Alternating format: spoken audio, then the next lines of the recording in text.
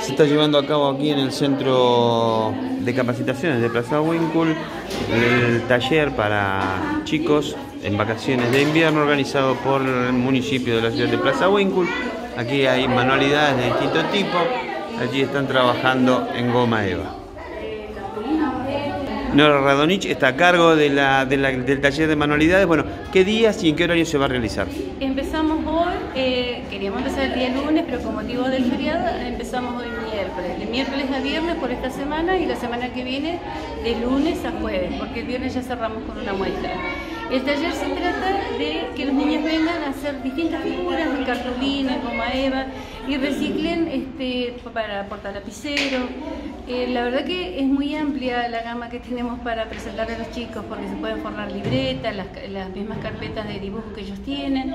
Así que hoy gratamente nos vemos con una cantidad de niños que se han acercado. Todos los días tenemos grupitos distintos porque el interés fue muy, muy grande en los chicos, en los papás, en anotarlo, así que eso agradecemos también que los papás colaboran. O sea, viene hoy un grupo, mañana otro grupo. Mañana otro grupo y así todos los días tenemos distintos chicos. Alrededor de 15 chicos por grupo más o menos. Sí, sí, sí. Y todavía sigue preguntando por la inscripción. ¿Ya se cerró la inscripción? No, todavía estamos aceptando a algunos niños más. Bien, o sea, los papás interesados vienen al centro de capacitación. Y, y los anotan acá. En horario de administración pública. En horario administrativo. Se acercan a la secretaría y ahí las chicas los, los, van a anotar. Agradecemos al Centro de Capacitación porque realmente nos han acompañado en, en todo lo que es fotocopia, en, anotar, en inscripciones. En la capacitación me acompaña Silvia Velo, Elsa Asensio, Claudia Antigura y Mariela Basualdo.